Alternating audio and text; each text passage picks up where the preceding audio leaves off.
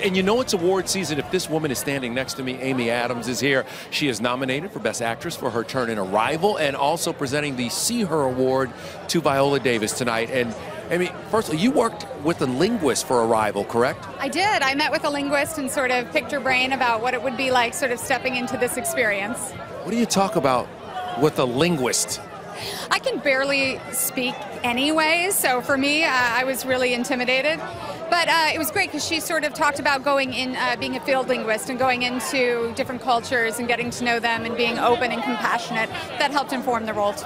You, you know, earlier we were talking about what it's like for you now with the award season and how much you kind of just enjoy the experience more.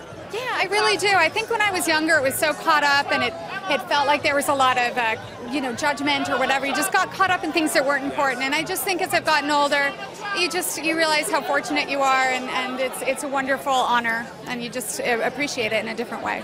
You are wearing a beautiful dress tonight. Um, whose dress is that, and does your daughter approve? Versace. She liked it. She's a little concerned about this region, so sorry about that off. Um, you know, yeah.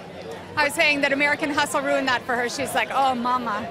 Once she, oh, she she hated the American Hustle. Seeing the posters on Sunset, she was like, oh, yeah.